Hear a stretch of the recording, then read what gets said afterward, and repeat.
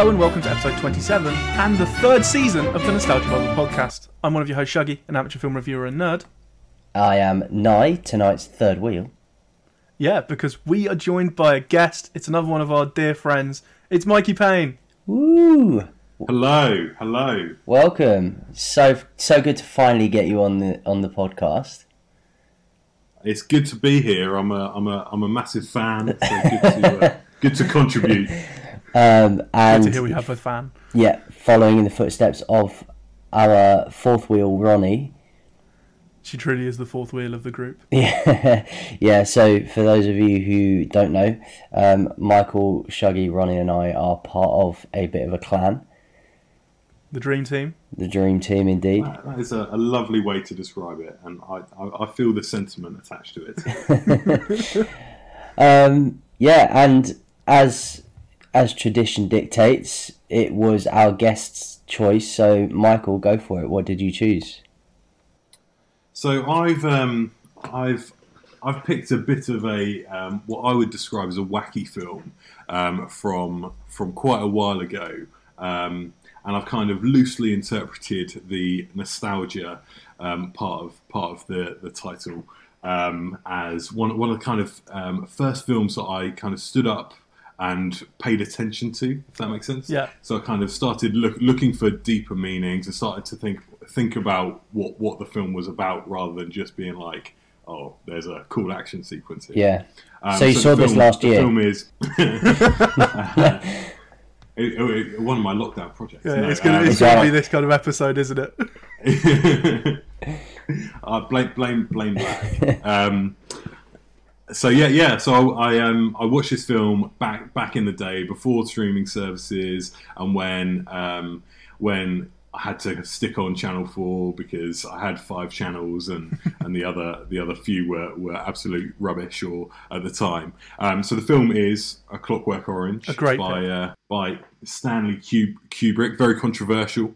Kubrick or Kubrick? Kubrick, I'd go with. Eh, well, we'll, we'll, we'll go go with your gut, Shuggie. You're usually right on things like this.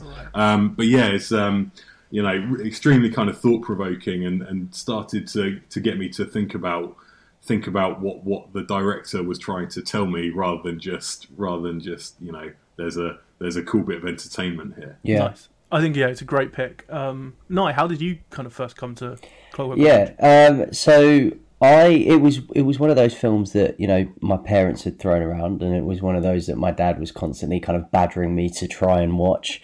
Um, and I very vividly remember being there being a huge Clockwork Orange poster on the co- on the corridor outside the English and media classrooms at our sixth form college. I don't know if you remember, guys, but um, I never went upstairs in that building. and and I was um, I was always kind of intrigued by it and wanted to watch it. And then I think I watched it for the first time maybe a couple of years ago, um, and I was incredibly underwhelmed. So when you mentioned it, I was like, oh, okay. And and you know, Stanley Kubrick is not my go-to director. Um, I'm I'm going to controversially throw out that I'm not a fan of 101 Space Odyssey. Is that what it's called? 2001. 101 Dalmatians. 100 Dalmatians in space! who, who knows? Who knows? Maybe maybe Nye's preempted a, uh, a Stanley Kubrick prequel that's uh, yet to be released. so Emma, Emma Um, Stone is 101 Dalmatians in space. yeah. so as you can tell, I'm not I'm not a close follower of Stanley Kubrick, um, but on rewatch, actually, I really enjoyed it. Um, and I'm not just saying that because this is a podcast of positivity. Um, I think you know the last time I watched it was probably a bit of a half-assed attempt. So.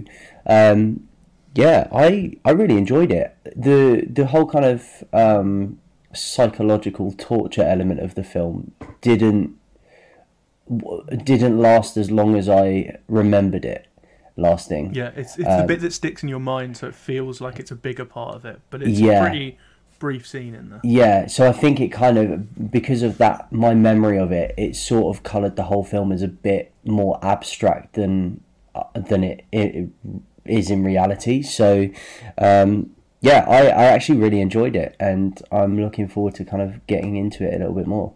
it didn't really stick out to me as much as The Shining or 2001 or Doctor Strangelove. But I think giving it its time where it's not just part of like a marathon of Stanley Kubrick films and I'm just able to focus in on it, there's so much kind of depth to it. I don't think I fully get what Stanley Kubrick's position is. Um, I think it's going to be a great discussion trying to get into that. Uh, but there's there's tons to unpack here, and yeah, I thought it was, it's a really well made film, and yeah, it's it's a harrowing watch as well. Like it is pretty brutal at times. And Yeah, it's graphic. It, it Yeah, was it is a- graphic. Yeah, it, def- it definitely uh, it, it's definitely one that sticks with you for, for better or worse. Whether you whether you kind of uh, love it or hate it, you, you definitely remember it. yeah, absolutely. unquestionably. Okay, I'll run through a very quick bit of pre-production. I don't have too much here. Uh, so it's originally based on a book by Anthony Burgess, who wrote it in 1962. Uh, he sold the rights pretty much immediately after for about 500 quid, I think. Um, maybe that's dollars. He's probably American. I don't know. No, he'll probably be British. I think it's based in Britain. Um, so he might be British. I didn't look this up. Can you tell? Um, so the, originally, the Rolling Stones were meant to star, and like Mick Jagger wanted to play Alex, which would have just been a really weird film. Um, but there were some problems with the BBFC, which is the British Board of Film Certification, and the rights ended up coming to Stanley Kubrick. Um, he'd been given a copy of the book by a screenplay writer called Terry Southern, but he'd kind of been working on a Napoleon film and was just like so fixated on that he never read the book. Um, his wife instead read it, and she was like, "Oh, this is something you should read," and like actually do read it. And he loved it. Like again, like all the stuff you talked about, where you you this was kind of a film that you saw so much in there that you're trying to understand and get deeper into. He saw that in the book as well, and he wanted to make it. Um, so he wrote a pretty faithful screenplay to it, um, which is quite rare for him. Like if you've seen The Shining, it's quite far removed from the uh, Stephen King book. So the fact that he was fairly faithful is a, quite a big change for Kubrick.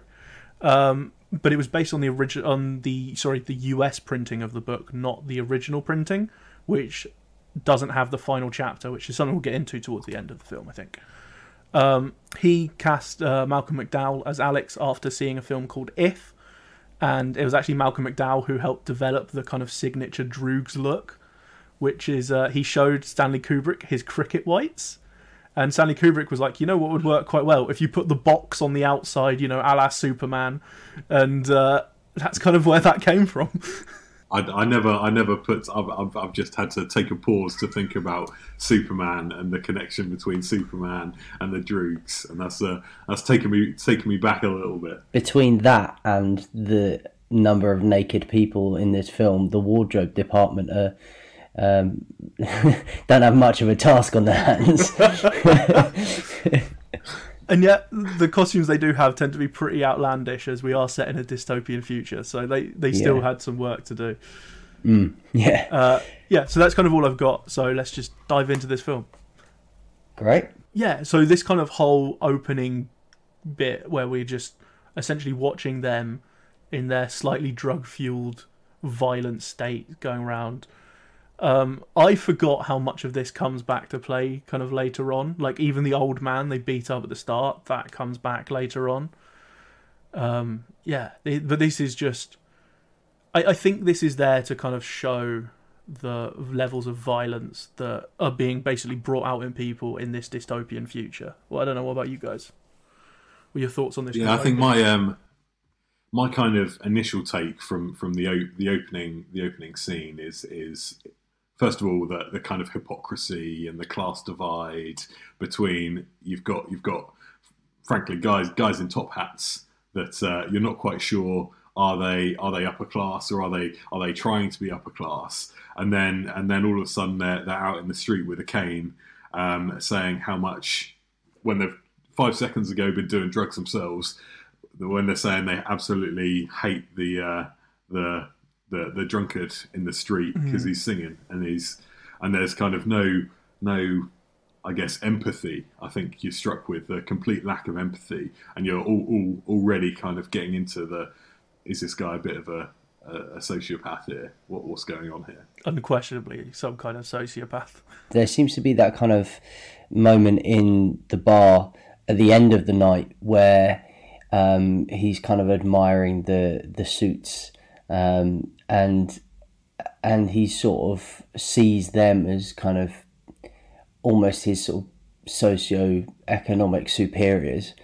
Um, and and it, it's a really interesting dynamic sort of that comparison that he draws um, and and sort of how that kind of reflects or, or, or yeah I guess depicts how he sees himself in society because he he's sort of caught between these two worlds. So just sort of the other side of the same coin to what you said Mikey with with the way that you know he relates to the drunk guy under the bridge.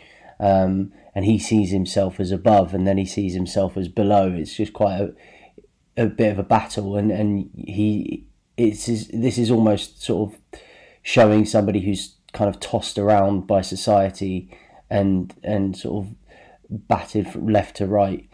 Um, and yeah I think it's it's just kind of a a really interesting opening sequence showing that kind of fluctuation from from one to the other phenomenal couple of points there. Yeah, I'd picked up on the same thing Mikey did about kind of him comparing himself with the you know the the drunk guy on the street. But yeah, Nye. That's a really good point about how we then get that comparison with kind of upper class people and the way he does kind of see you know Beethoven as this kind of superior you know more intellectual thing and he only respects people with that you know like later on when he's getting interviewed by um, Frank Alexander's colleagues, and he's you know telling them how to spell Beethoven as if they wouldn't know, like one of the most famous composers of all time. It's you know he he clearly has this kind of view in his mind of the kind of people who listen to mm. it, and he sees himself, I think, in that kind of bracket, and that's where he strives to be. And the fact that you know this woman breaks out into singing Beethoven, he suddenly kind of gains a bit of respect for them and looks up to them in that moment yeah, you've definitely got that theme of kind of aspiration throughout the film, and that's kind of really, really apparent really early on. But I guess the the opening scene is saying that it kind of works both ways, and you've got that aspiration upwards, but you've also got that beating down downwards of hmm. uh, of, of classes perceived as as beneath, and that's again kind of continued later on throughout the film.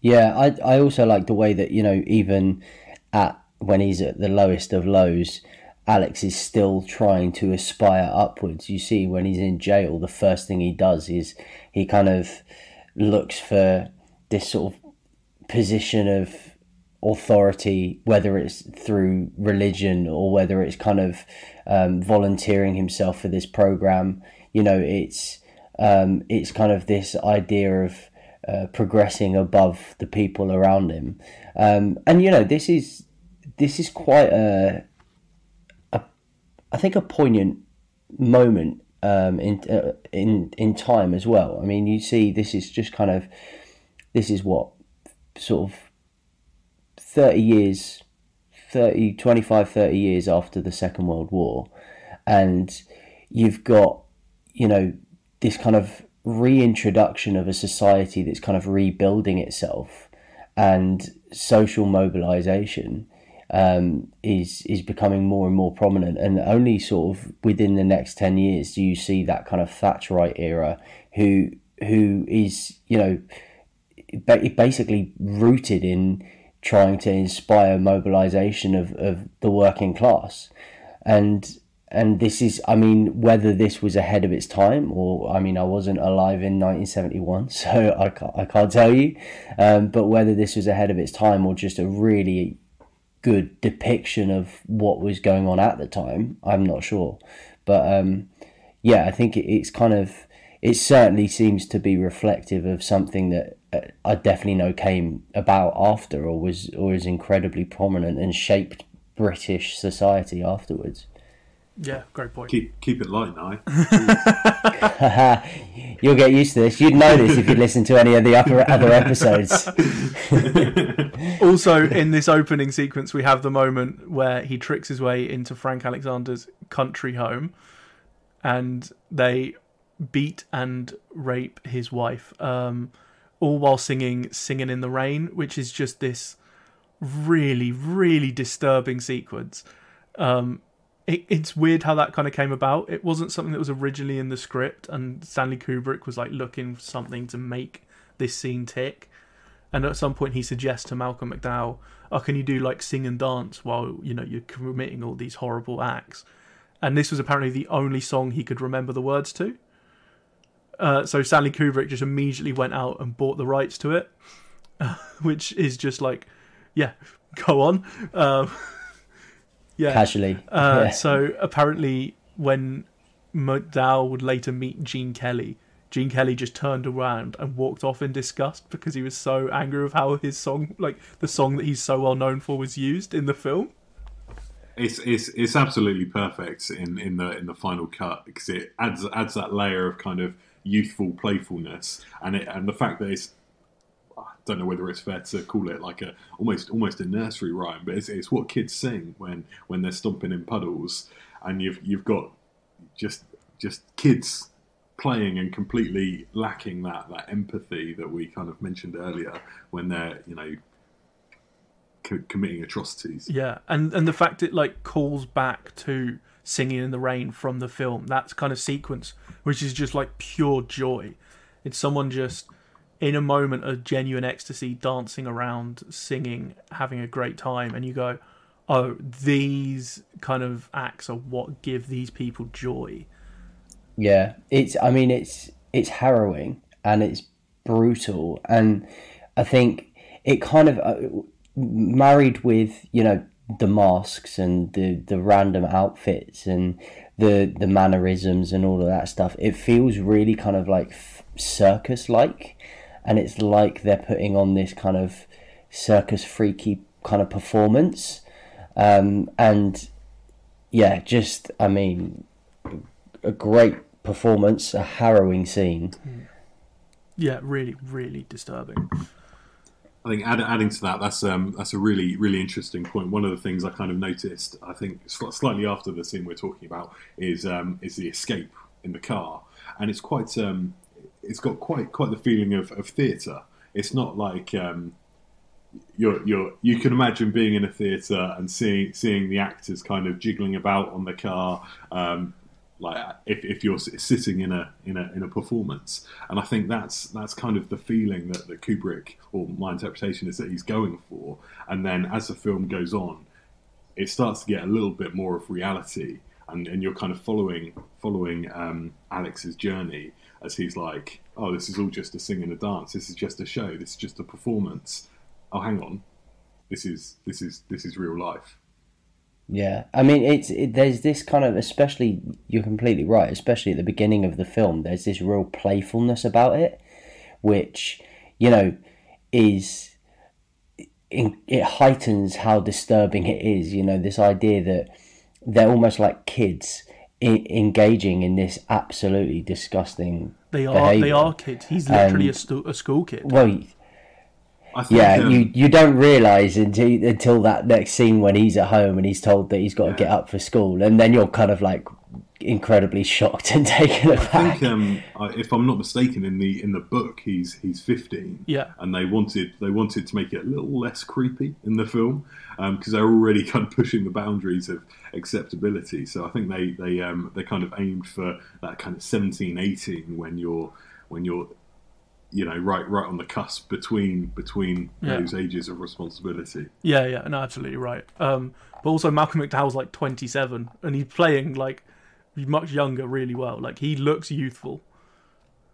I don't know. Maybe it's just my picture of Malcolm McDowell is permanently coloured as like the old Malcolm McDowell we know now. Who? Because I think the first thing I ever saw him in was Heroes.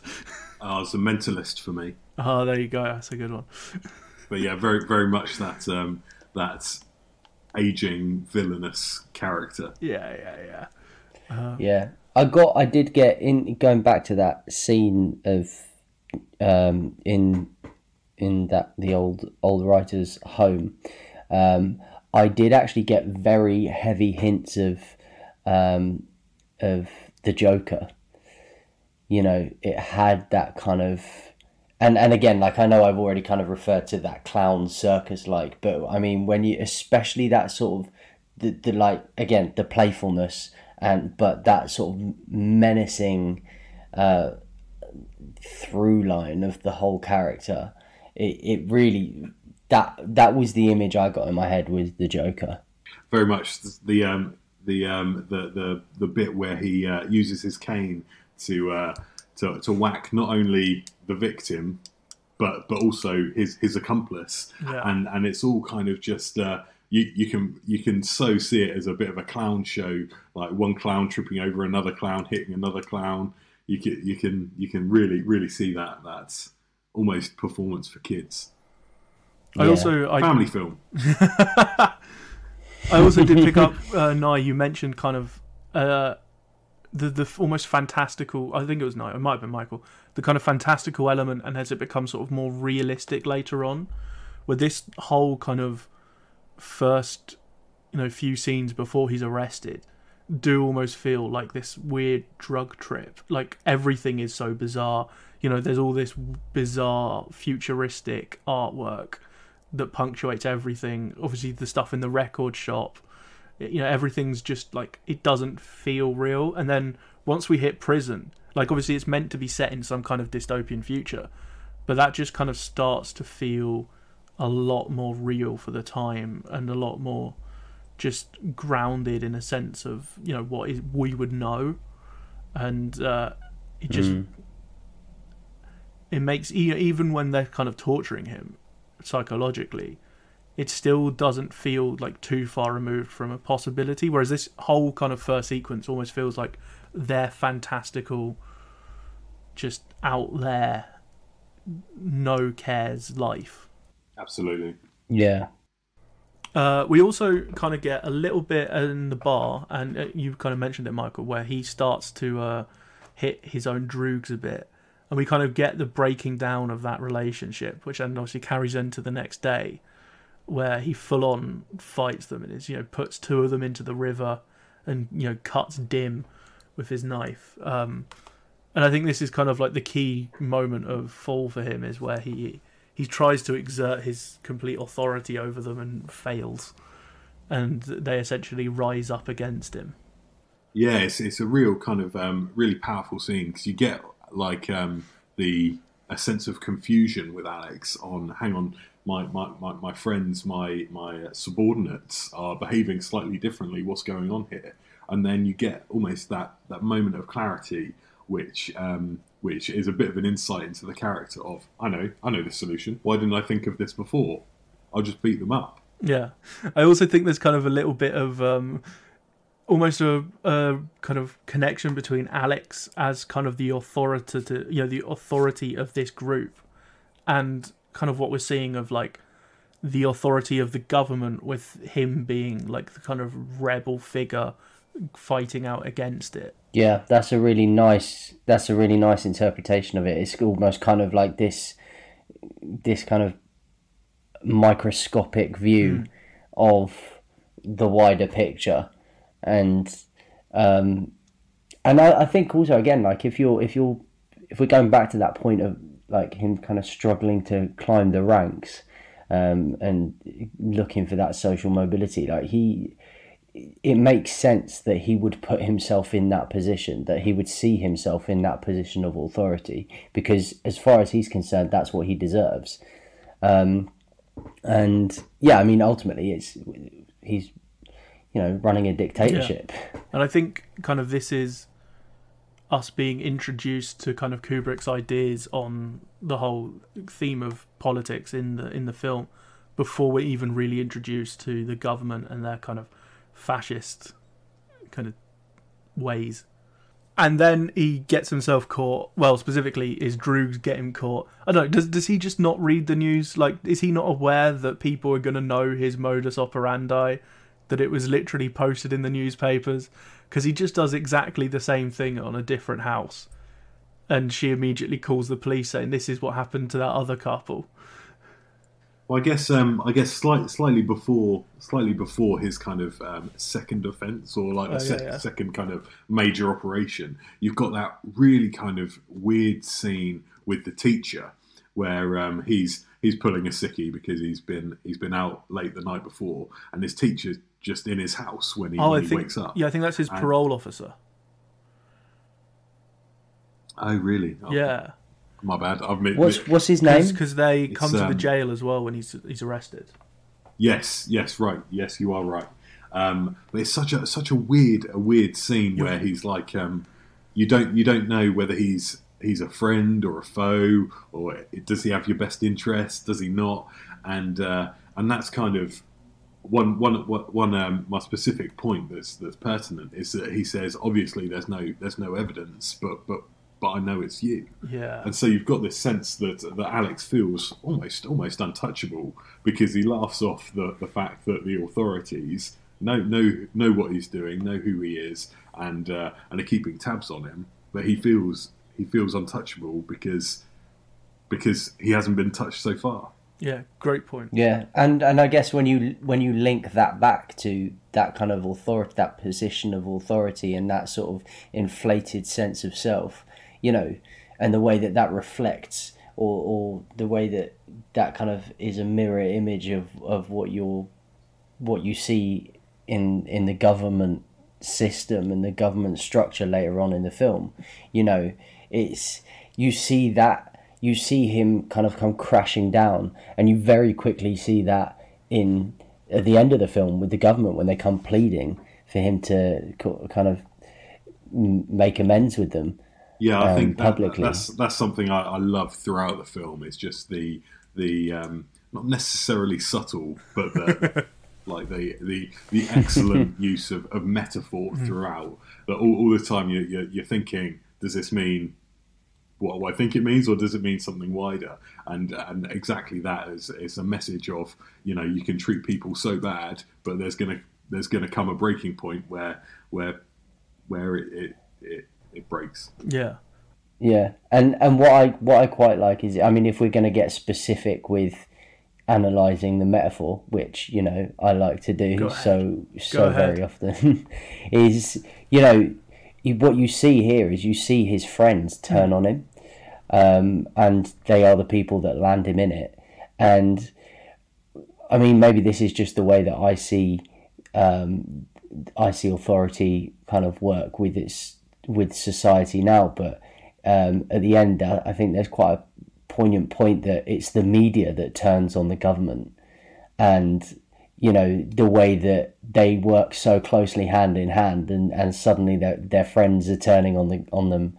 I just thought that that was kind of a bit of a. It was just a, a really interesting parallel. Oh no! For me. the, the media in the government pocket as their as their subordinates. I'd never under see that. In, What? Never see that. Absolutely not. Never. or or, or, or, or the other way around, with the, the government being in the media's pocket. You're right. Rupert Murdoch runs things. And we Yeah. I also just want to throw back to uh, just laugh past that bit. Uh, I also want to throw back to that kind of scene you mentioned, Mikey. Um, the performance by Aubrey Morris as as uh, Mr. Deltoid is just a really weird, creepy, kind of very exaggerated performance. It felt almost like something out of Monty Python to me. Yeah, absolutely. And and you know, it was Mikey, you were completely right that you you're sort of sat there wondering what is Yeah. going on, like why he's there, what his intentions are. And I think, you know, the way that it's directed as well really makes you question it. Like there's there's this that moment where he kind of lies back on the bed and then grabs him by the by the private parts and you're just like what is this relationship and and really uh, ultimately all it is is it's a show of power and it's an abuse of power but it's kind of it, it leaves you wondering exactly sort of how what the what the dynamic is meant to be there. Um, and so I think like you know you can be forgiven for thinking that he's a teacher or he's somebody that the, the family knows personally or like it's a really odd thing. And and, and I, I don't think that that's unintentional. Yeah.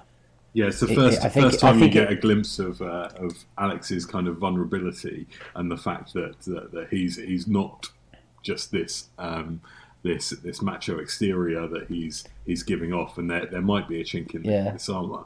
But then on the flip side of that, he he's maintaining his his I would call performance and still respecting the authority figure, despite the fact that he's he's he's grabbing him by the private parts and clearly there, there's the abuse there, but but still Alex is playing along again metaphor Yeah. to, to society. Yeah, and it's also the first time you see the relationship between authority and citizen, and and I think that you know that this is kind of like the bridging point where you start to kind of link the the previous sequence with the rest of the film. Yeah, and I think you see kind of Alex's relationship with authority throughout. He's at all points he's quite respectful and submissive towards kind of the authority coming from the government. Like when he is arrested and first comes to jail, he you know he is following all the instructions. He's calling them sir. You know he. Even though he th- clearly thinks that things are a bit stupid the way they're doing it, where he has to stand behind the line in such a way that it's awkward for him to reach the desk, uh, and yeah, he's having to play stuff properly. You know, he still he follows all the instructions, and he he's as as as you said, like kind of almost very submissive in doing it. Yeah, he, he fully knows how to play the game. He knows that there is a game, and he knows how to play the game, and and and yeah, and, and you're just kind of follow, following that journey with him.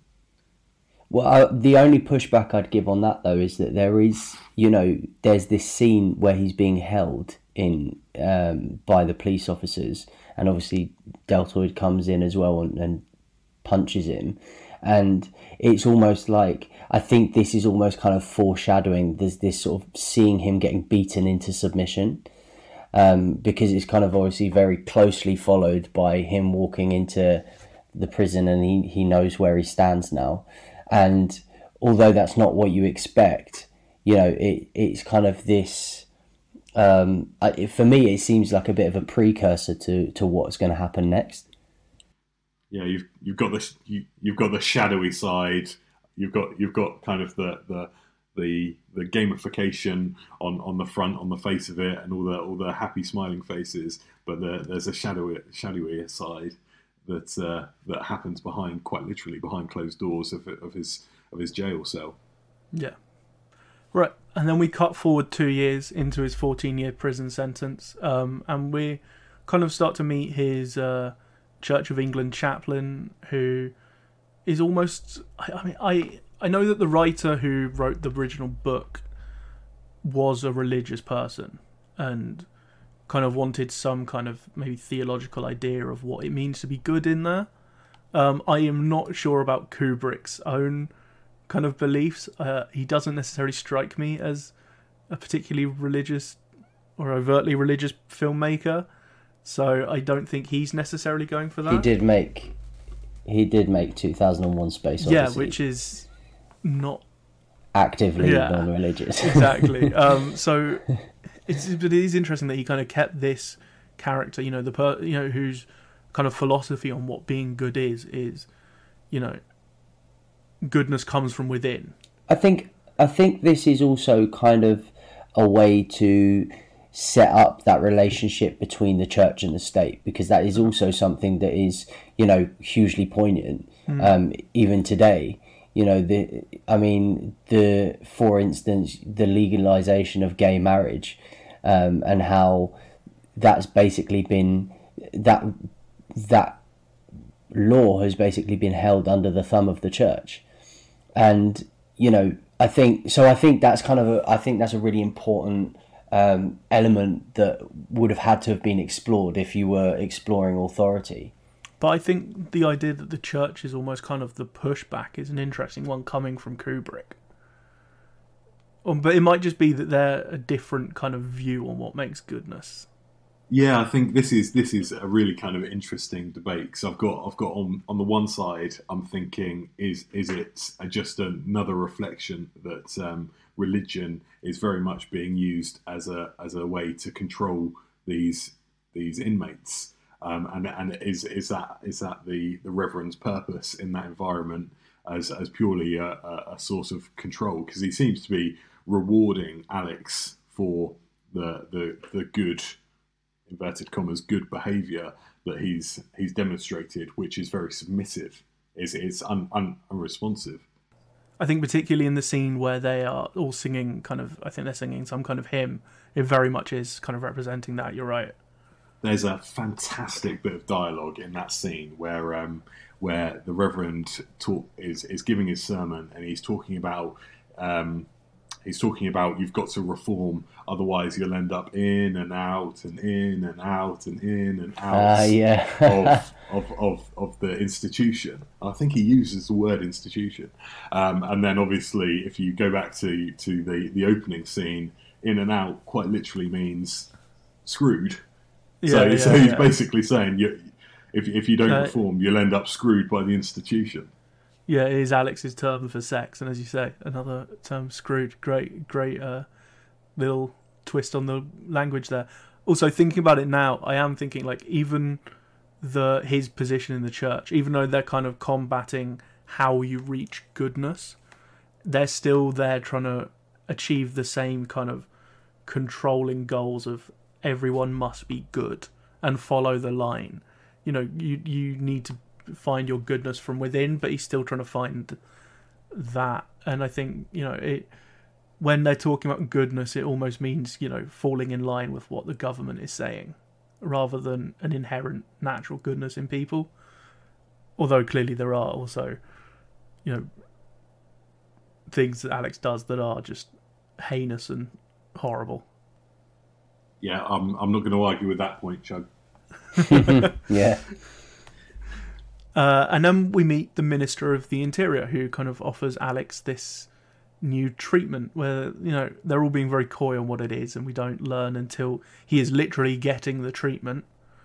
Um, but yeah, he, he agrees because it will get him out of jail within two years, and that's all he wants. He doesn't think about any kind of consequences. There is also, I think, a really interesting scene in here where he talks to the prison governor, and the prison governor's stance on what the need for jail is is eye for an eye justice.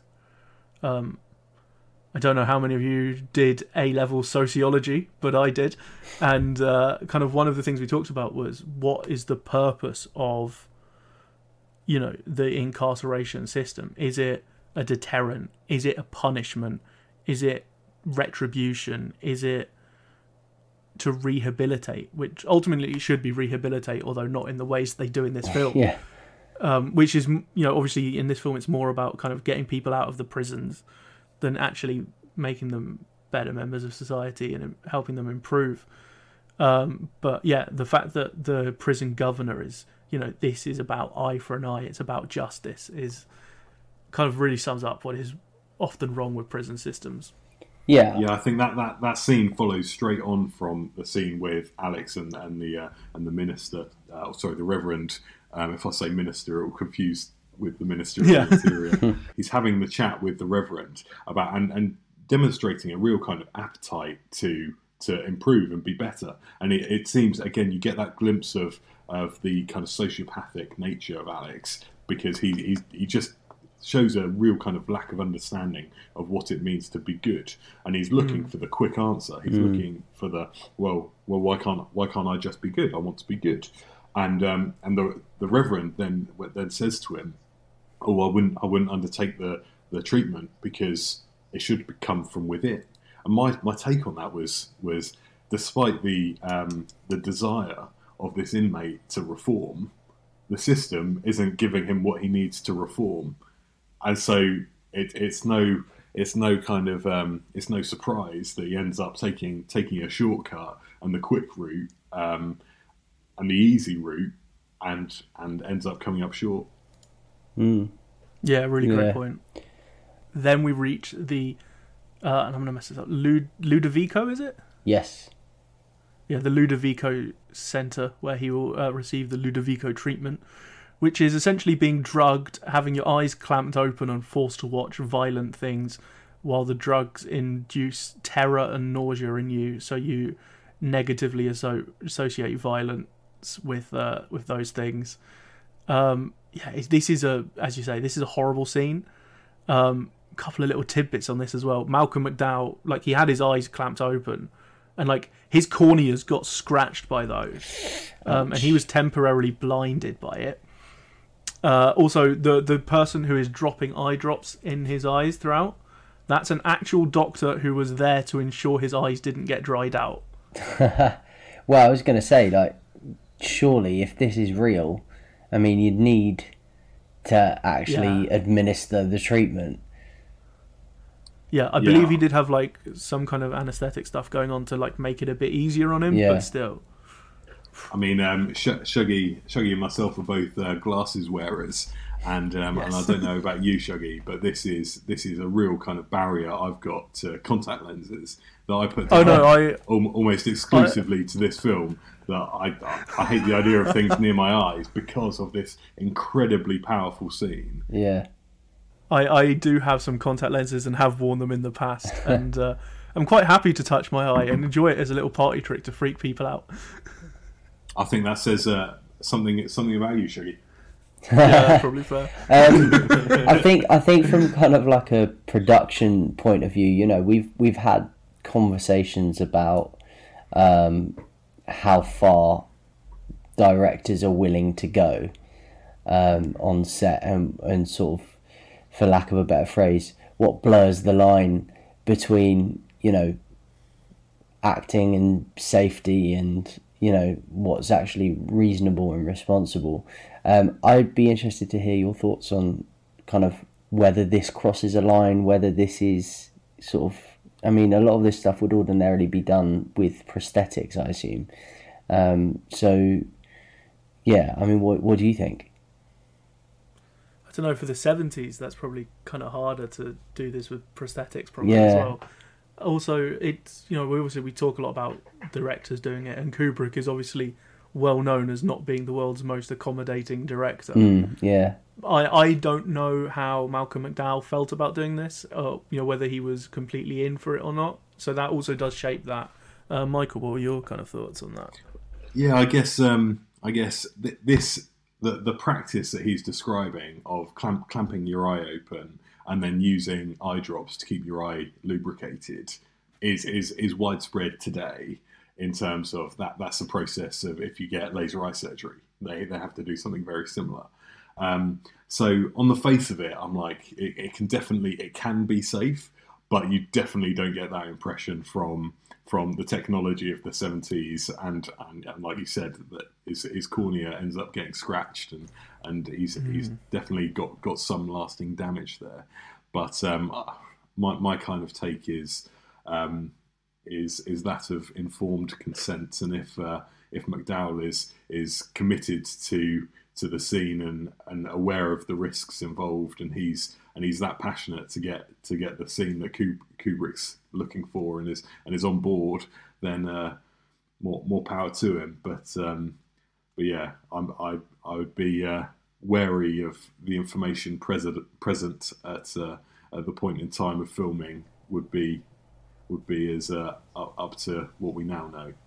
Yeah, I will also say, like, thank God they had a doctor, you know, standing there and incorporated him into the film. Like, they they had some level of protection there. at least, yeah. Yeah. Um, and then the thing that really makes him turn against this whole treatment is the fact that they used Ludwig van Beethoven. It always really annoys me that he calls it him Ludwig van throughout the film. Like that's just it's so weird because it's Beethoven. Like just, just use the surname. Beethoven is Um, also as many syllables as Ludwig van, so it just kind of Yeah. it's almost like they've just gone, oh no, let's just let's use the same number of syllables, but just the other end of the phrase. I mean, it's distinctive. It's a character choice for sure.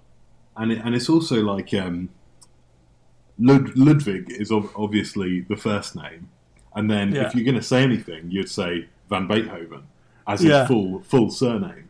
But he's kind of chopping and changing the t- the two and sticking half of one into the half of the other. And I wonder I whether it that's deliberate to kind of show he's he's got that aspiration of of Hmm. being an intellectual and being part of the, that's that circle in society. But but ultimately, he's he's not quite there. Yeah, you know, I was as you were talking there, I was just thinking that exact same thing. Like maybe that is a deliberate move to kind of show his, you know, he's he's thinks he's got this kind of intellectual superiority to people because he listens to Beethoven. But yeah, maybe it's kind of to show he doesn't. Anyway, the point we're making, uh, the the kind of plot point here that's key is that they use his Ninth Symphony in some of as sort of a backing score to these horrible, horrible, violent videos they're showing him. Uh, so not only does he get an adverse reaction to the violence and the sex, he also gets an adverse reaction to Beethoven's Ninth. And you Which- and you get that uh, powerful scene where uh, where Alex says, "Oh, I, I recognise this song. Um, what, what's going on here? I don't."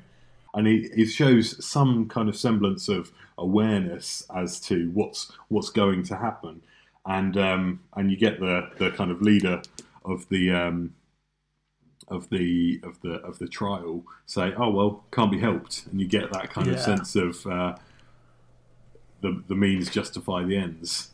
Because And he's little he has a little line in there about maybe this is his punishment.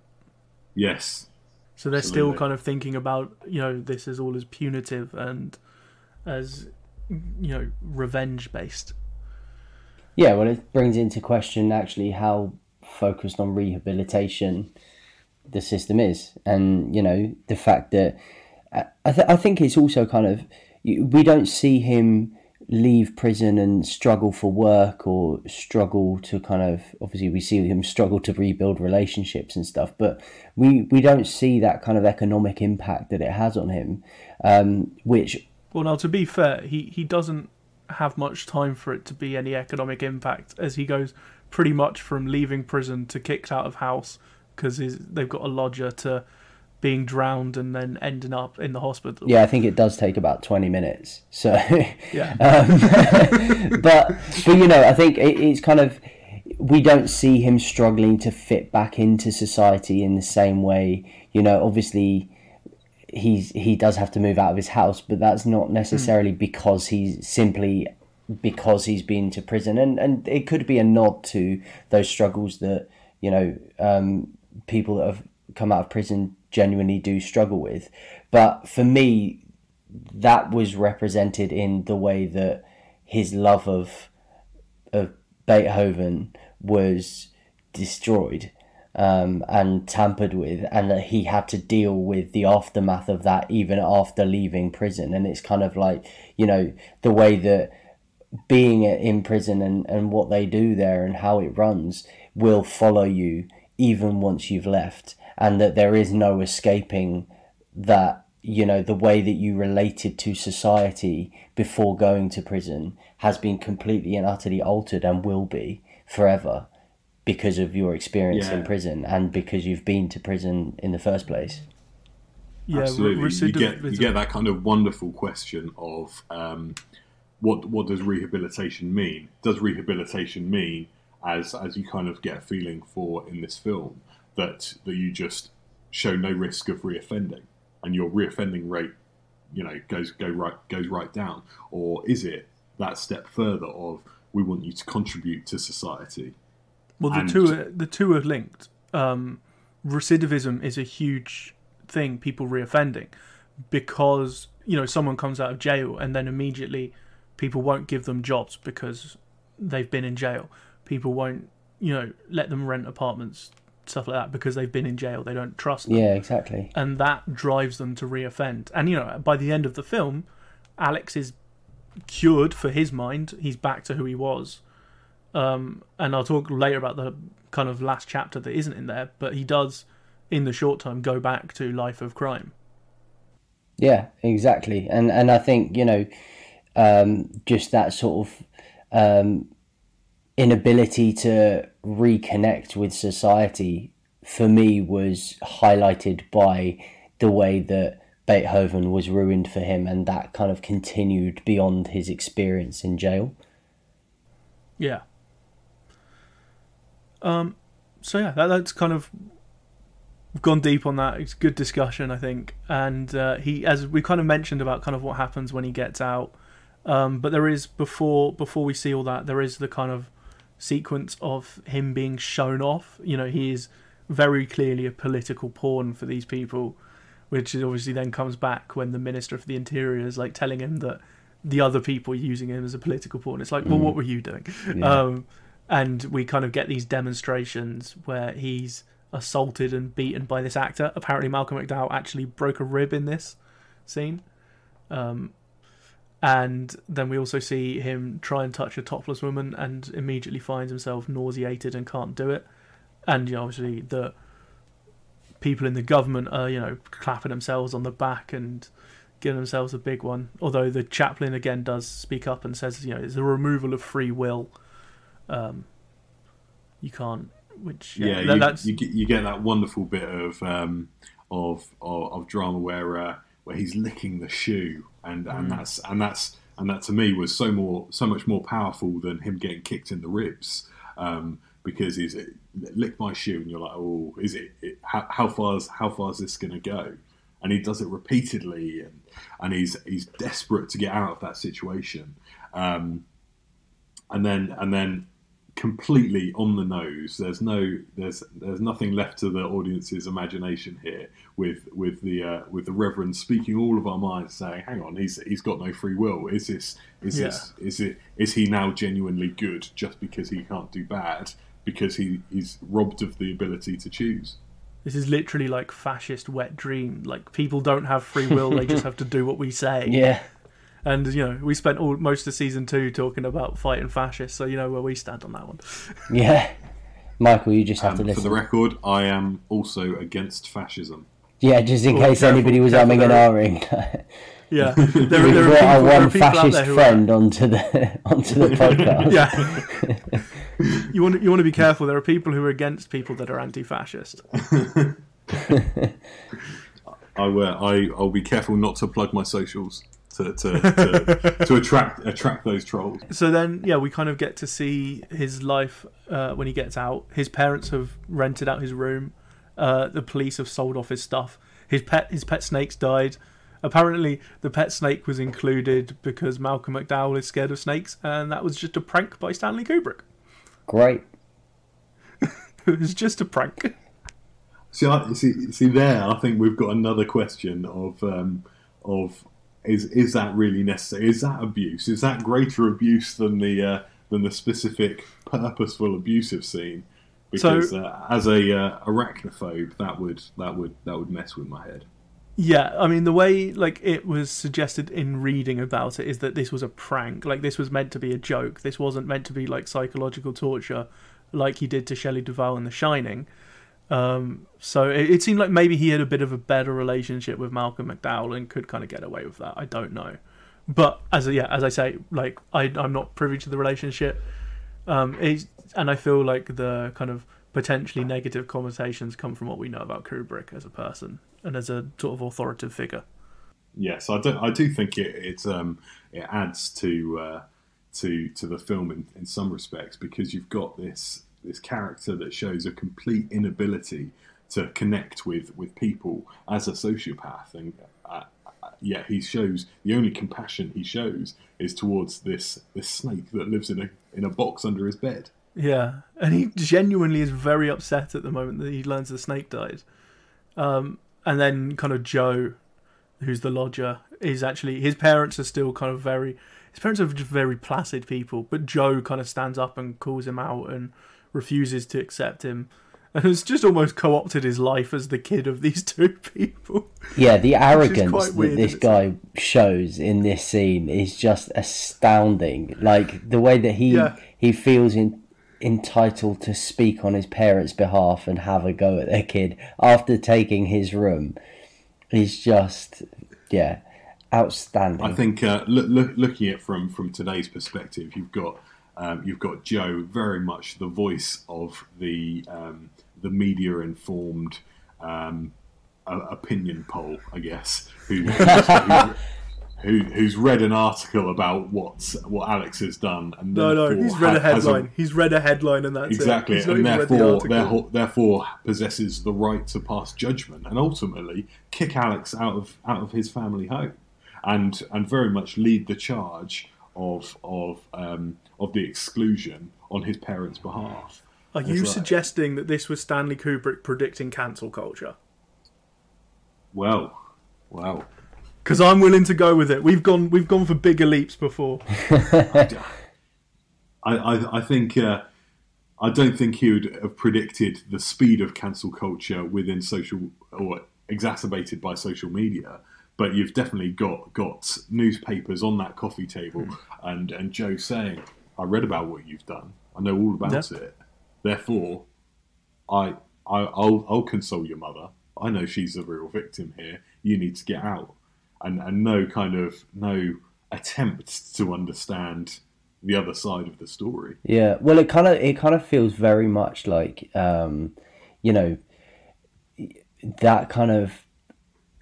We've I don't want to talk about Brexit. I really don't, but you know, we've we've been we've been over the last several years. We've heard and listened to politicians go, "We're going to give the people what they want," plainly ignoring that there's still forty eight plus percent that think Brexit is an awful idea, and like just this sort of uh, this kind of assumption based on what you think you know, um, and and this sort of very polarized position that you've taken based on the limited or or the manipulated information that you've decided to ingest, and and try and apply that to you know to to the wider society. You know, it's it's it's a depiction of somebody living in an echo chamber, effectively. Um, and and it's Yeah. kind of just condensed into one person, and that's not something I I noticed. I mean, Mikey, that's a great observation. I didn't pick up on that, but yeah, it's a really good point. I think it, it goes it goes even further because if you were to kind of take take that step back, you could kind of notice how quickly the media narrative and rhetoric changes, and all of a sudden, all of a sudden, Alex is is the victim, and you're hearing the other side of the story, but it's always to somebody else's agenda. It's never hmm. it's never from his perspective. It's always he's he's the side piece in somebody else's story for somebody else's agenda. Never never kind of focusing on on him and his re- rehabilitation and, and what his what his um, um, dog in the race would be. I think that's a really good point. I mean, you, Yeah, you even even at the end of the film, you're still kind of wondering, wait, is he the victim or, you know, what's going on here? And and I mean, I think that's partially set up because you know that opening sequence is just so dreadful, and you know that first sort of half an hour is is so kind of brutal that you know you're led to believe that he is awful. And then by the end of it you're kind of you don't know where to where you land. And um and obviously that you can't you, you can't deny that everything he did was awful but you also can't deny that the way he was treated was absolutely inhumane. And and then you have this kind of you're right you have like this yo-yoing of the media and you never actually get to he's never asked about how he feels about it you know? He's just he, you the way you follow him through this story is you just watch him suffering. Beyond that point of prison you just watch him suffer. And and everything you hear um, and and the analysis of what's going on is fed to you by the media and the people around him just not him Yeah, these are all great points, and um, I love, like Michael, you picking up on that kind of little detail that and I missed. I think that's where this film is so good. Is you know we mentioned earlier, it, it- at times the metaphors are not subtle, and then at times they are.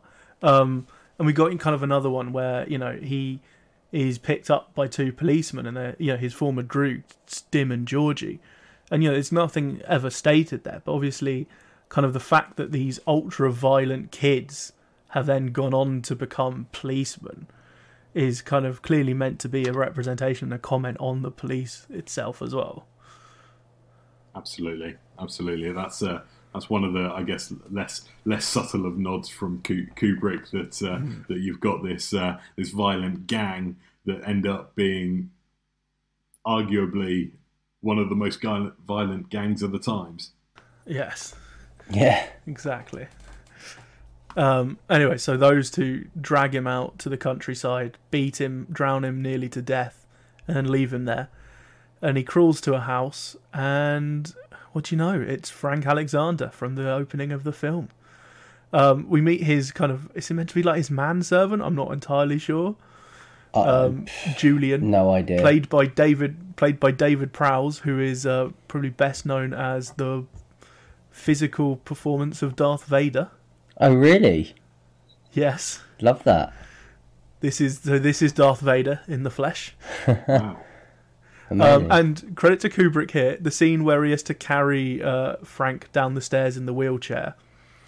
Um, so David Prowse was a bodybuilder, and you know, obviously he's a big buff bloke.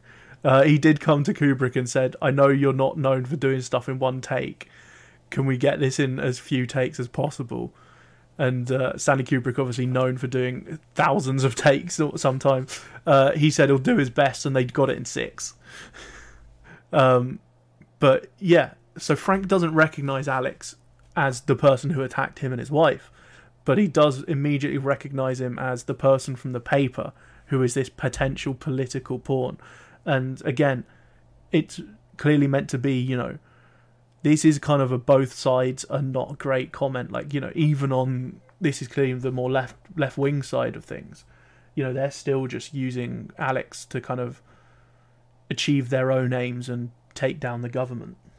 Yeah, well, it's everybody adopting an agenda, isn't it? And it's it's kind of like that that sort of back and forth and, and that kind of party political um, dynamic of, of the government and how you know they can they can manipulate things to work in either direction which of course you know that party political that kind of um, dynamic is not as prominent at the moment but um, you know for for the last for the majority of our lifetime we've experienced how you know you we've seen propaganda the same propaganda used in different ways to serve different agendas and to serve different purposes. Yeah, absolutely. Yeah, definitely. I think uh, uh, you you end up of getting that um, that sense of you, you're not able to see see the wood for the trees, and you you've got Alex that is just uh, just um, I'm wary of using the cliche of uh, he's just a statistic, but he, he just ends up being being a, uh, a stepping stone on either side. Mm-hmm. And absolutely, like you said, Nye, he's uh, he's symptomatic of, of neither side being um, being being clean of hand. Yeah, you know, neither side is actually interested in helping him. They're just interested in how can he help themselves. Um, and then he kind of gives himself away. He sing, he's getting a bath, and he's uh, starts singing, singing in the rain again, this obviously isn't in the book because it was something Kubrick invented. Instead, it's kind of you know more series of small mistakes in the book, and I, I like this more because it just calls back to that you know really horrific opening in such a brutal way. Um, and obviously, Frank is completely devastated. He has this really kind of emotional talk where he doesn't reveal to Alex that he knows it's him, but he's telling him about you know his wife's died and he blames the person who you know broke in and raped her. Um, Which I I, th- I, think that that in itself is quite a um, um, I, I don't know. I don't know enough about the time to say whether it's ahead of its time, but it mm. certainly goes into quite a lot of detail around that whole idea of PTSD and, and the lasting effects of trauma yeah. beyond beyond that of the physical, um, which is, I, I think, a, a, nice kind of recognition from Kubrick of the severity of of the victims left behind, mm. whilst you're also focusing on on on Alex as as a protagonist.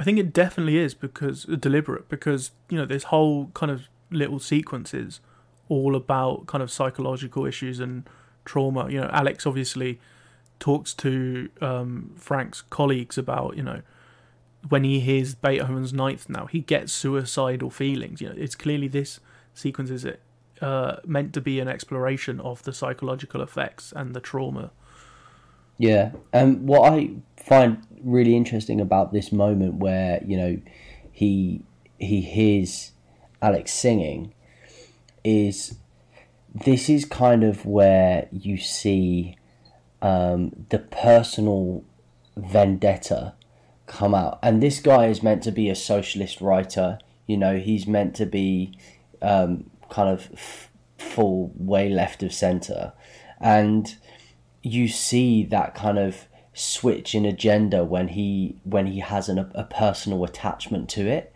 and then suddenly the style of the film changes and it kind of reverts back to how it was at the beginning and mm-hmm. and then now all of a sudden you can't differentiate between the good guys and the bad guys because the way that it's filmed and the way that it's acted. You know, it's got that very kind of um, over the top, quite kind of abstract sort of acting. The stuff that you you sort of see in Deltoid at the beginning. You know, Yeah. and and suddenly there's that there's that kind of ambiguity between who stands for what and and and you see almost that kind of corruption of the left because they have a personal agenda going on as well It's a great point. I do wonder, you know, if he hadn't realised that Alex had been the one, um, what the kind of plan was. Was the plan to, you know, drive him to try and kill himself as he does, or was it just to use him to kind of, you know, unve- un kind of veil the what has happened to him through you know public speaking and telling his story. Um, whereas, yeah, obviously the way they end up going is they try and have him kill himself, and then they can literally dictate the narrative through telling his story. yeah It's hard to say. Um, I do want, yeah, I do wonder if he hadn't revealed what way would uh, Frank and his colleagues have gone. Who knows? Yeah, it's a really, really, really interesting thought experiment, and I guess what you end up with is the complete opposite, with the the victim ending up going into the the same system that has failed Alex, and you end up getting getting a, a sense of you know purely purely financially, right? You've got um, so much kind of taxpayers' money being spent on Alex as um, as as the perpetrator and the, the culprit in, in the justice system. So, right, we're going to spend a huge amount on this experimental treatment um, to, to to make sure that we're we're saving, and you know arguably forward thinking. We're we're going to save money in future because we're going to try and reform you, um, and then ultimately the system fails fails the people within the system, which adds more people into the system, and and the cycle the cycle um, reenacts itself with with the added cherry on top that uh, that Alex is being offered this cushy job from from the government. Yeah, with extra get- pay essentially as hush money. Yeah, you get you get a cherry of corruption on top. Yeah, i mean it's you know it, it- it's kind of people failing upwards and and actually i guess a real sort of literal depiction of the people in government are criminal. I mean Yeah. it's you in its so- most sorry, basic Knight, form. Are you are you su- are you suggesting that our most trusted government could be could be guilty of corruption in this day and age? and handing out jobs to people that they know and just want to, you know, ensure that they they, they are on side. i'm not sure i'd ever suggest such a thing i'd outright say No. it i'm not sure i'd ever suggest it right, we'll we'll quickly move on. Um, uh, yeah, we've kind of touched on this final scene where he, you know, obviously he, he's nearly driven to suicide through the playing of Beethoven's Ninth, jumps out a window, ends up in hospital. The minister for the interior comes by, and we've kind of gone through this scene. But the kind of final thing we get is uh, he brings in speakers and photographers because you know this needs to be a publicity moment. Of course. Of them, you know, cuddling up and having, you know, looking chummy, plays Beethoven's Ninth, and instead of kind of the revulsion and suicide from Alex, he's uh, able to picture himself having sex in front of a crowd, and the final line of narration of, "I was cured, all right." brilliant really good Yeah, yeah masterful ending. Um, as quote, I, as I of mentioned the of season times- episode one Yeah, I mean it's the strong start. It's Yeah. a strong start for a bubble. Um, as I mentioned, there is kind of a final chapter of the book that was cut out of uh, the US publication, and uh, Kubrick also didn't want it in this film.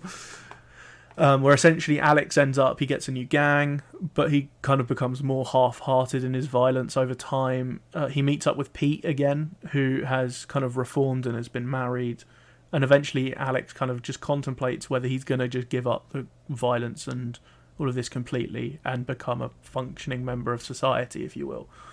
Um, this was seen as like really inconsistent in the tone with the rest of the book by most people, uh, including, as I say, the US publishers and Kubrick, who were just like, "Get this out." Yeah. we don't want it. Like, obviously, as you say, yeah, this kind of ending is so impactful. It leaves it, it's not on the nose in like kind of other ways, but it uh, is as this final chapter can be a bit on the nose, but it um yeah, it just leaves you to explore the ideas yourself, which is what I love in a good ending. Yeah, Yeah, absolutely. You get that sense of um, of taking taking the shortcut will never lead to to a lasting a lasting change and a lasting result. You end up, you know, sticking sticking a band aid over the issue, which is a temporary fix, but but you're not addressing addressing the institutionalized issues, which uh, which you know is quite quite ironic that the government end up quite literally spoon feeding Alex when when that's what they're, yes. they're try, trying to avoid doing Yeah. at the outset of the film. yeah. I think Yeah, yeah. I mean right, that's there is literal spoon feeding. That's a really good point. Um, yeah, I think I think that would have been a cop out. To be honest, I think it would have undermined everything that could have been taken from this film, and ultimately, you know, we've I think in this conversation we've we've kind of picked apart quite a bit of it, and and you know I think that would have been sort of undermined and overshadowed um, by this final chapter had they kept it in. I also yeah I I like kind of when art is left open to interpretation. Like we can pull out what we want from the ending of it. Um, if you if you want some hints of when this was recorded, I'm going to mention um, the Disney Pixar film Luca came out uh, this summer. Yeah, just seen it actually. Yeah, um, the director has said very explicitly that he says there is no homo- uh, homosexual overtones to that film whatsoever. Um, whereas obviously a lot of people have seen it and read kind of the central relationship between the two male male characters as being a gay one, and there is essentially a coming out story in there. And it really annoys me that the directors kind of come out and said, "No, absolutely not." Like, let people interpret your art. Like, don't don't put constrictions on it. If people want to, if people can read that into what you're doing, let people interpret the art in the way you want, unless it is, you know, completely against your worldview. Um, which I assume that's not because absolutely. I wonder whether that's a, a classic case of um, of the commercial um, implications of, of what the statement would be. But you know, com- coming back to coming back to A Clockwork Orange and the ending, I, I think it's hugely pertinent that the story doesn't have a happy ending. yeah, I think that adds that adds so much more to the story because we're all stuck in this in this cycle of of, of growing um, of growing um, institutionalized inequality, and and if it was a happy ending, I think I think that wouldn't leave you with the same kind of in, sense of injustice that, that mm. I think you should be feeling after watching the film. I Yeah, completely agree. Yeah, and there's this, you know, there's ultimately there's this kind of moment where I, I was like, this this guy is he's lying in bed in a hospital bed. He is head to toe in a cast. He's had to had to be spoon fed and manipulated into signing a contract with the government, and you know he he's been tortured and he's made to feel thankful for it. Yeah, you know Yeah, that, that kind absolutely. of that sort of you know the way that they clearly the government have come to him trying to make amends because they know it saves it covers their own back but they've also somehow managed to make him feel lucky to be in the position hmm. he's in. And you know we see this all the time you know we see Oh, yeah, this yeah, we yeah. see this uh, kind of how grateful we should be for you know free healthcare at the point of use or whatever. And and and this kind of things that should be a given. Um, and yeah i mean i just think that that's kind of another sort of really poignant point and in that kind of end moment Yeah, yeah, this has been a very unpolitical episode Yeah. of the podcast. So I'll wrap up with a little bit of post production. Uh, so the film was released in 1971, and it was a huge box office success. Like this film had a budget of like 1.3 million dollars, and it grossed well over 100 million dollars. Uh, the initial reviews were mixed. Some were hugely supported it, loved it. Some uh, were very against it. Some thought it was a mess. Some thought it didn't necessarily work based on the original novel, and some were just very against it on moral grounds. More of that in a bit. Um, it the current kind of critical consensus of it is that it's really is really strong. um, 86% on Rotten Tomatoes and an average rating of 8.8 out of 10. Uh, it was nominated for a bunch of awards. It got four Oscar nominations Best Picture, Best Director, Best Screenplay, Best Editing, and seven BAFTA nominations. So the four categories I've just mentioned, as well as production design, cinematography, and soundtrack. It didn't win any, but it you know it was in the awards pictures. It's one of only two X-rated films to ever get nominated for Best Picture at the Oscars, along with Midnight Cowboy. But there was some controversies. So let's start in America. Um, as I say, it was given an X rating on its initial release. Uh, Kubrick actually cut about 30 seconds of sexually explicit footage in order to get an R rating on a re release later in 1972. Um, it was also widely condemned by religious groups. Uh, so the National Office for. Uh, so a, a Roman, a Catholic um, Office of Film basically said Roman Catholics should not see this film. uh, and a group called the Conference of Bishops labelled it as morally offensive. So it really riled up the religious people in America. It's it's quite ironic that I, I feel like those controversies and those those critiques of the film add to the film's narrative of of of of the institutions and the mm. control over over over the people. Yeah. Yes, in I will. Society. I will say that the group saying you're a Roman Catholic shouldn't shouldn't see it. I think the term is they are forbidden from seeing it. um, so in the UK, so it was originally allowed to be shown uncut in British cinemas. However, there were a number of kind of trials where this film was mentioned. So uh, a manslaughter trial of a 14-year-old boy, as well as the murder trial of a 16 year old boy. The film got mentioned as being like inspiration for them, as well as I believe there was a rape case as well where it got kind of referenced. Um, Stanley Kubrick's wife kind of revealed that the family had received threats and protesters had gathered outside their home. And uh, eventually in 1973, it was withdrawn from British release at the request of Kubrick. Although he did disagree that the film that his film was to blame, I think they just essentially wanted the harassment to stop probably. Um, so it was really difficult to see A Clockwork Orange in the UK for about 27 years, and it was only re-released again after Kubrick's death in 1999. Wow, that recent. Yeah. That's mad. Um, really crazy.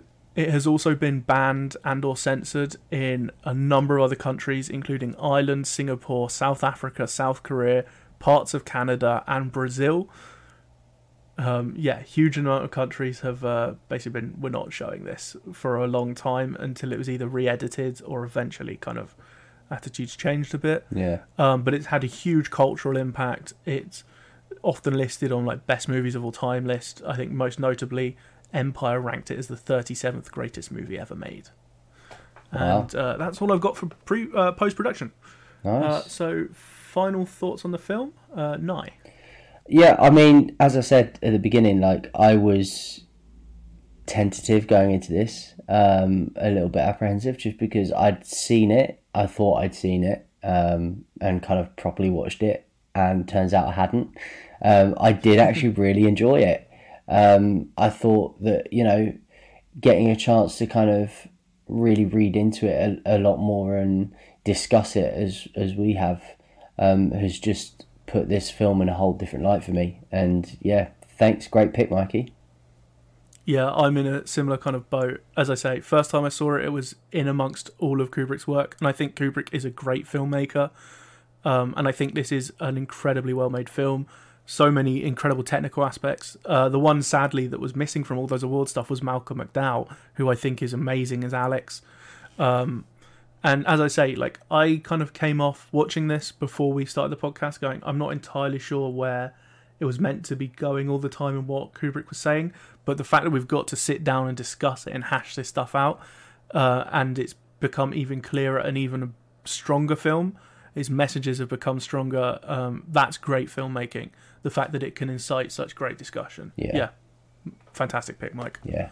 Absolutely. Yeah. I'm. Uh, I'm glad you guys have enjoyed. I think you with this um, with this film and this type of film, you get so much more out of it being in this kind of environment where you can say have a bit of a discussion about the metaphors. Was he was the director doing this? Was the actor trying to to do this? And and overlaying the kind of the uh, at times absolutely kind of beautiful, creative dialogue that's going on with with all, all of the characters in a really kind of wacky way is uh, is uh, is great, and and I think it's aged really well as well. Yeah. which uh, was another thing that I kind of noticed on on rewatching.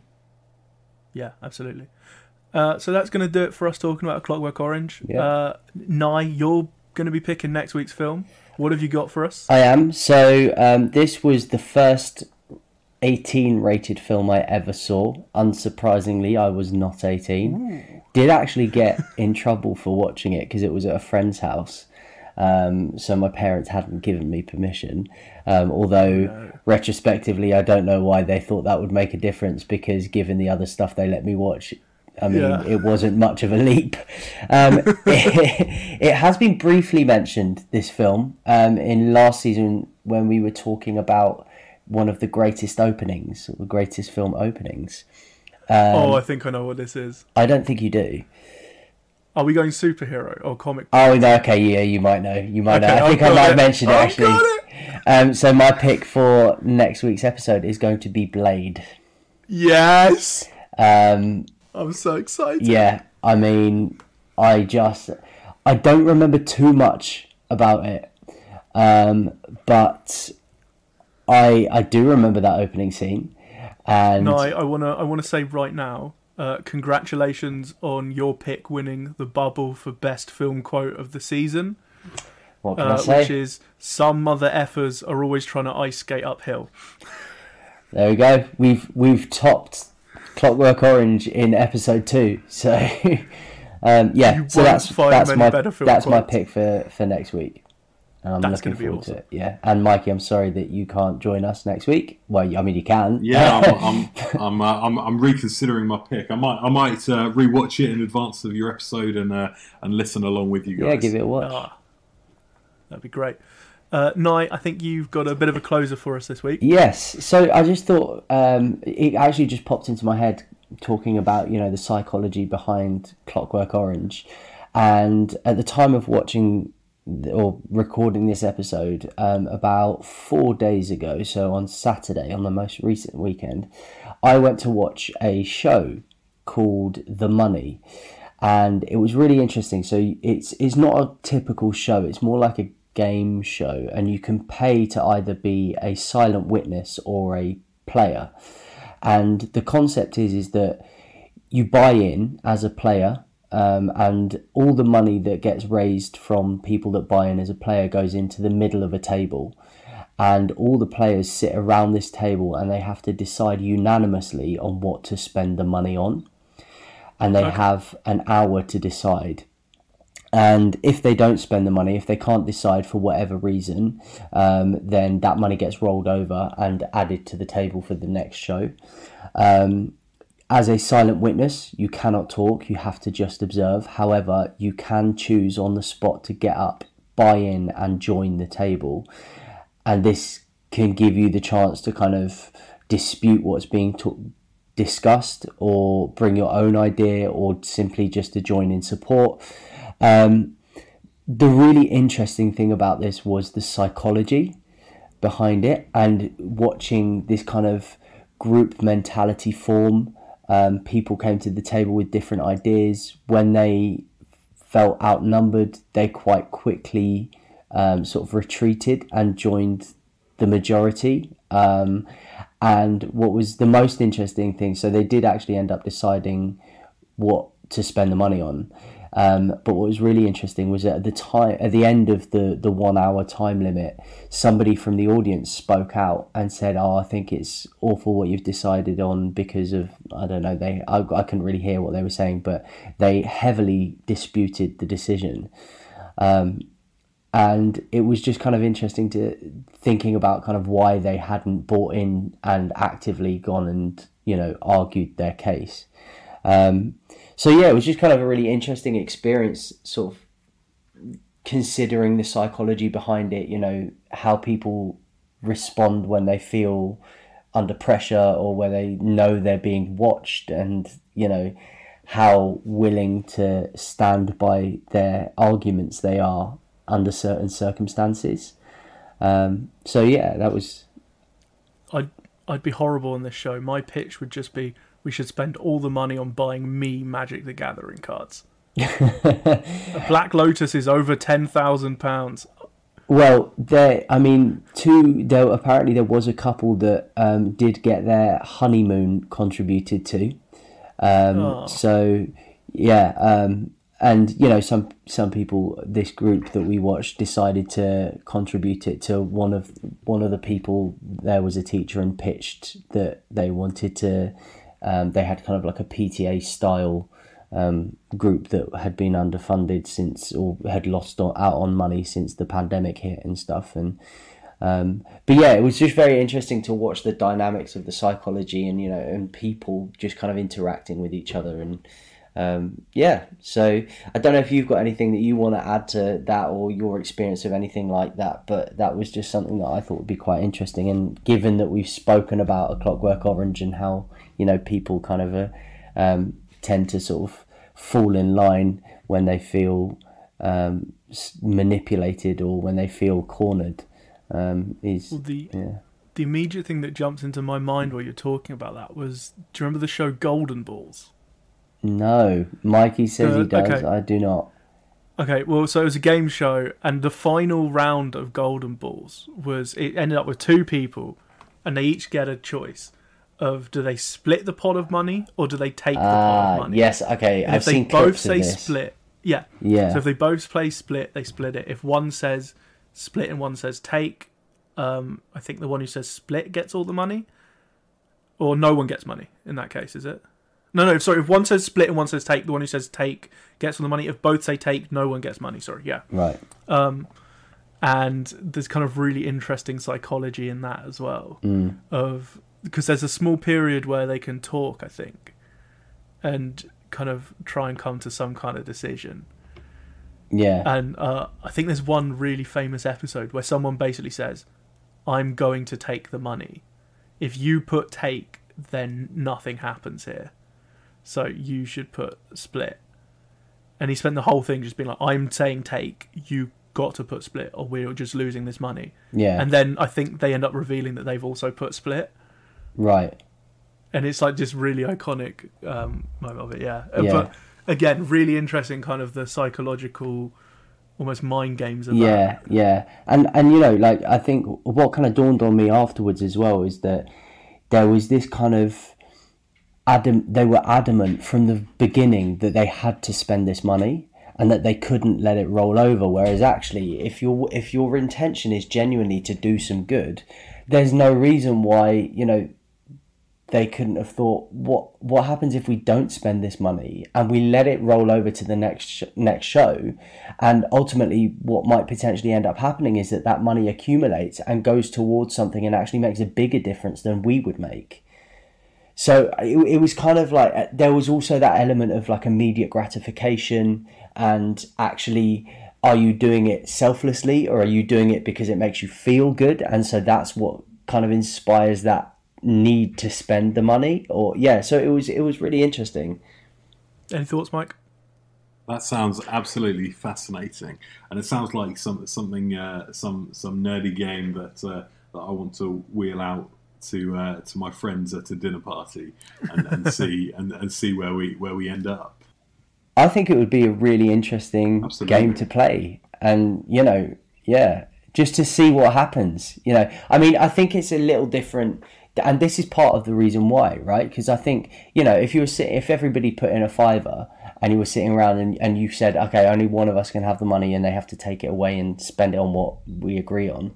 Um, you know, you could you'd all be pretty comfortable going right. Well, let's just take it and go to the pub and we can split it. You know, and and people have suggested that. People have, I think, people have actually done that as well in this game. I think Yeah. that there's there's added pressures. So obviously there's there's the timing. So there's the time constraint.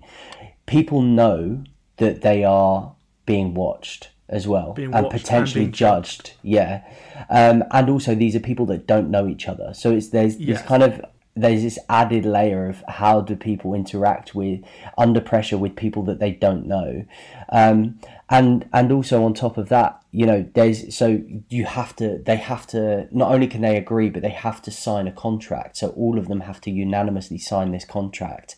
And um, and it is from from what I've heard um, since watching it it is actually a, a legally binding contract.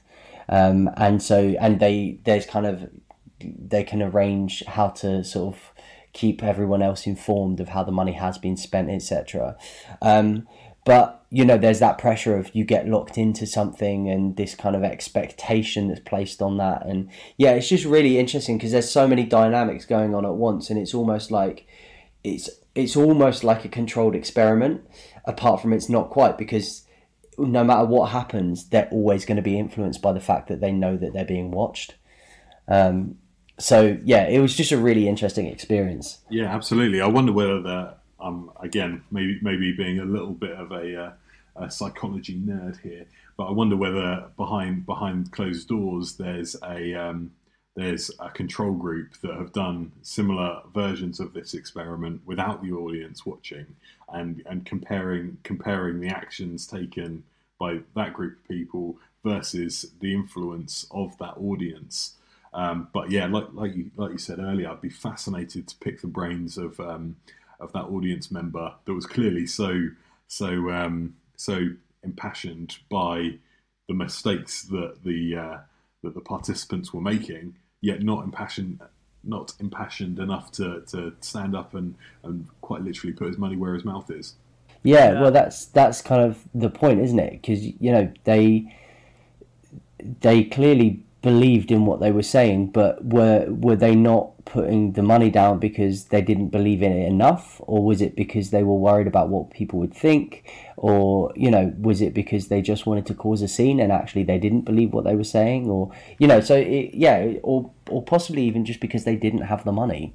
Um, so you know, it's and and then then brings into you know opportunity and and people's kind of status and how that plays into the way that they kind of um, portray their beliefs and Going back to what we were saying about social media a little bit earlier, is it is it just a case of it's far easier to criticise something than actually find a find a resolution? yeah yeah. And it's easier to speak than do. You know so and and and what's really interesting about that is that you know she had all these objections but ultimately it counted for absolutely nothing because she didn't do anything about it Yeah.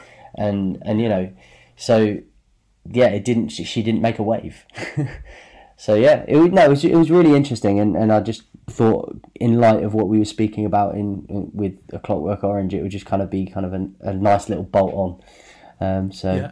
yeah, that's my Absolutely. closer Absolutely, absolutely fantastic closer. Thank you, Nye.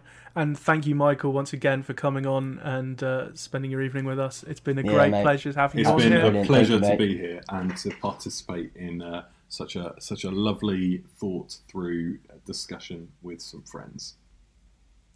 yeah, absolutely. Uh, you can find the podcast on iTunes, Google Podcasts, Spotify, Podbean, YouTube, anywhere else you find your podcasts. Let us know if we're not somewhere. We'll we'll try and get it sorted.